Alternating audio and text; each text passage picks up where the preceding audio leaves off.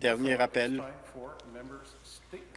Déclaration des députés. Député de Stormont, Dundas, Glengarry Suite. Dans ma circonscription, il y a plusieurs bénévoles qui travaillent fort, qui rendent la vie plus facile d'un grand nombre. Pierre Roy est l'exemple de quelqu'un qui a contribué ou qui a consacré plusieurs heures pour la collectivité et a reçu la médaille du bénévole. Pierre a commencé ses, activités de bénévolat.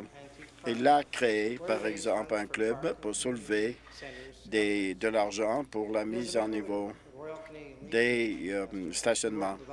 Et il a travaillé auprès de tous les paliers de gouvernement pour lancer des projets, y compris le déplacement du cénotaphe de, de Lancaster et euh, l'emplacement de la Légion canadienne pour qu'il y ait un endroit pour les retraités. Malgré les heures consacrées, il a trouvé le temps pour être bénévole avec la Société agricole et au moment de l'affaire agricole qui est la plus ancienne du Canada et en 2015.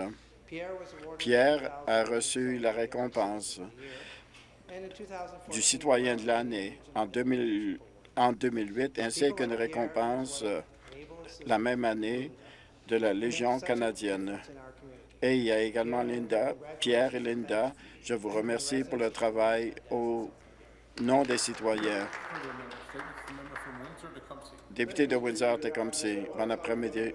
Je voudrais vous parler d'un ami qui est décédé récemment à Apple Stewart éducateur à la retraite. Il habitait en face de chez moi. Après que nous sommes arrivés, il y avait cet homme, robuste devant moi. Il m'a souhaité la bienvenue. Je m'appelle Apple Stewart et je bois de la lime. Je crois que j'ai euh, de l'alcool là. Peu importe, à ce moment-ci, je boirai tout ce que vous avez. Cela a commencé une amitié qui a duré 35 ans.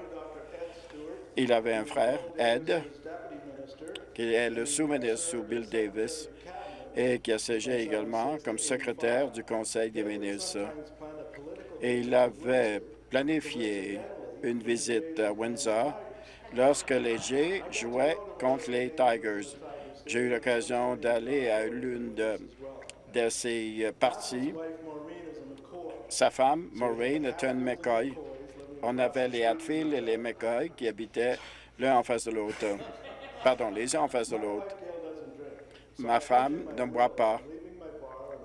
Je laisse mon bar à Hampton. Lorsque nous sommes déménagés, j'ai gardé le contenu et euh, euh, et, cet ami aime le whisky écossais.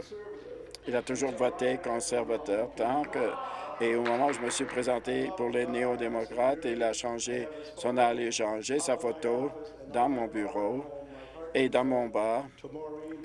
Et je souhaite euh, de tout mon cœur sa famille et à tous les McCoy.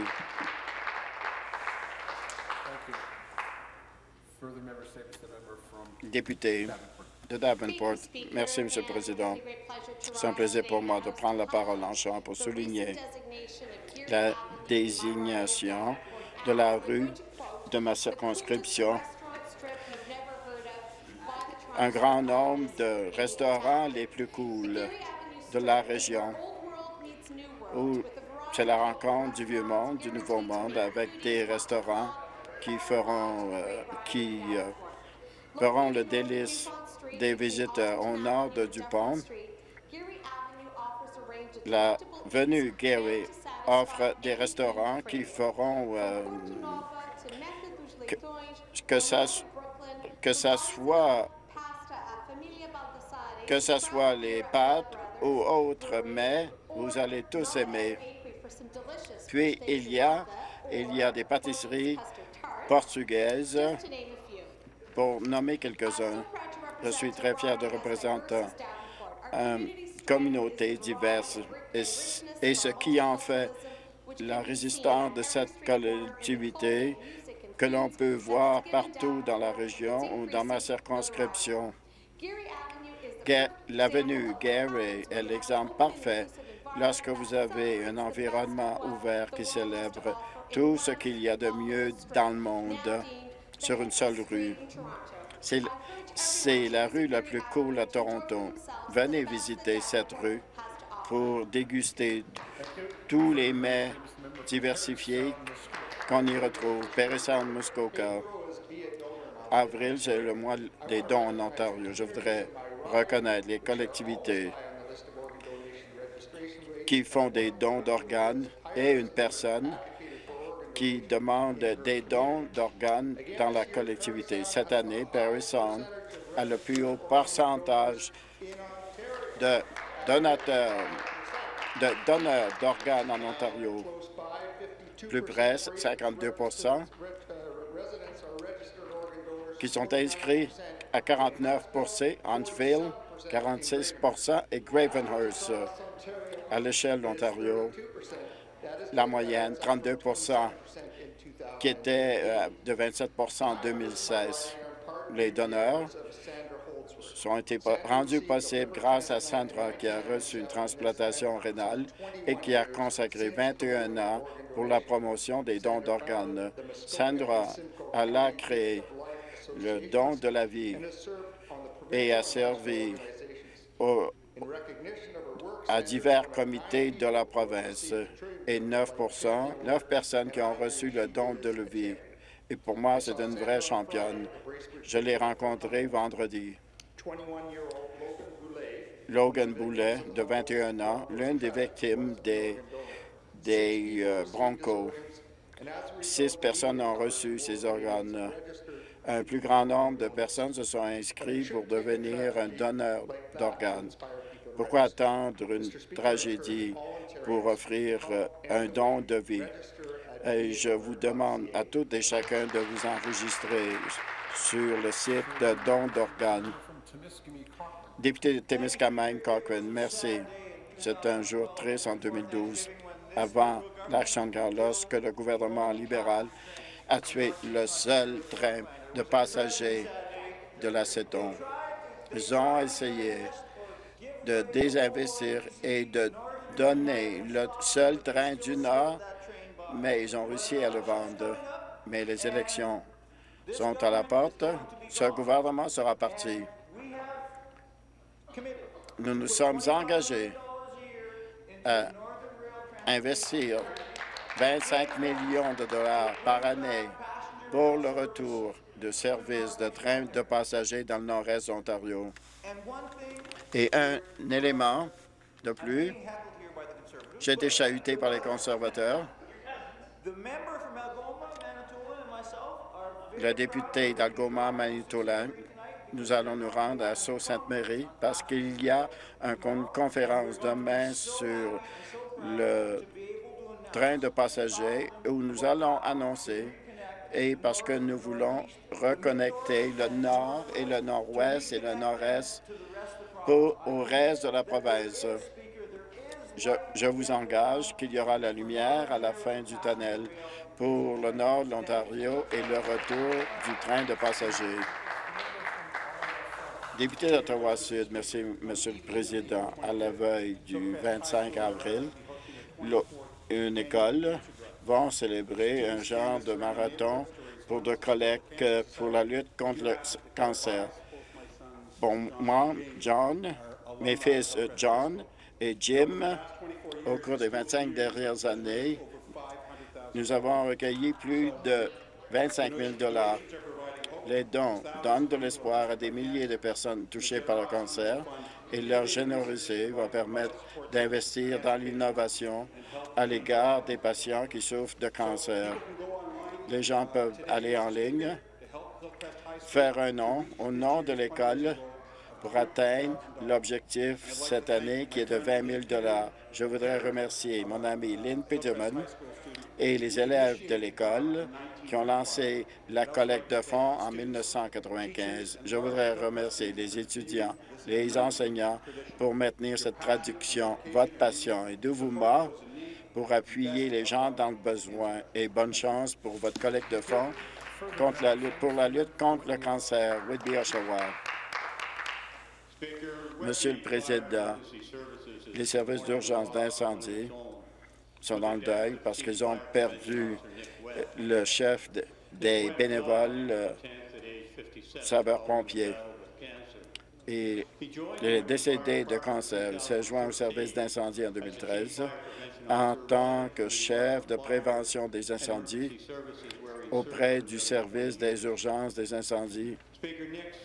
Nick a servi pendant plus de quatre, quatre décennies au nom de leur, dans l'armée canadienne. Il est venu finalement, il est devenu major. Il a augmenté grâce à son, engagement envers son pays, son travail. C'est un homme très célébré. Et voici ce que le chef des incendies a dit. On va se souvenir de lui en matière de sécurité, qui a consacré des efforts envers la collectivité. Il voulait faire une différence. Et pour toujours, il a laissé sa marque sur le service des incendies. Mes plus sincères sympathies à sa femme, à sa fille, à ses filles et aux membres des services d'incendie de Whitby. Merci. Député de Kingston et des îles, je suis heureuse de prendre la parole pour jeter la lumière sur le nettoyage le long de l'autoroute d'Aéro et le corporal à la retraite se lève à 4 heures du matin pour nettoyer les bretelles d'entrée des 140 140 km de l'autoroute des héros.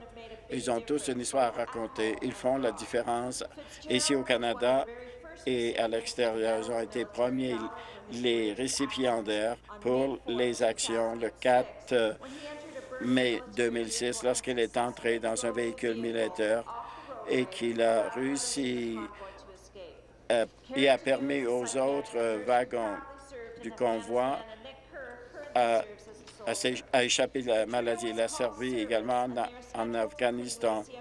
Et ils veulent euh, nettoyer l'autoroute le 20 sur, sur la bretelle de sortie pour euh, la base militaire de Trenton. Ils veulent nettoyer la 172 km pour, euh, à la mémoire de ceux qui sont tombés. On ne veut pas que ces personnes ne disparaissent de notre mémoire. Cet euh, nettoyage cette année vise à nettoyer l'autoroute, mais à se souvenir de ceux qui sont tombés et que ceux qui servent notre pays. J'encourage tout et chacun qui peuvent euh, se remonter les manches et de mettre l'épaule à, à la roue et de faire comme eux. Député de Dauphin-Caledon, cette semaine marque la semaine du bénévolat au Canada. C'est une occasion de célébrer les bénévoles qui consacrent beaucoup de temps à cet effort. J'ai eu l'occasion de célébrer hier soir lorsque j'ai participé le soir de la reconnaissance des bénévoles sur la présidence du maire et des conseillers. C'était l'occasion de remercier les bénévoles dans la région pour les hospices, pour les euh, cuisines, les papotes roulantes et autres services, comme les clubs de services, comme le Schreiner et Rotary, les légions, l'équipe de sport, les hôpitaux, les églises, ils ne pourraient pas fonctionner sans les bénévoles qui consacrent beaucoup de temps. Le bénévolat est un geste gratuit parce que vous offrez du temps. Il n'y a rien de plus limité et apprécié que le temps. Ils n'attendent rien en retour pour leur engagement, c'est-à-dire que bien comprendre leur travail pour renforcer les collectivités. Aux bénévoles, de la popote roulante et des lecteurs dans les écoles et des membres des clubs de services qui recueillent des fonds pour les parcs et les bénévoles des hôpitaux. Merci. Vous ne le faites pas pour la reconnaissance, mais vous méritez notre reconnaissance. Je remercie tous les députés de leur déclaration, rapport de comité.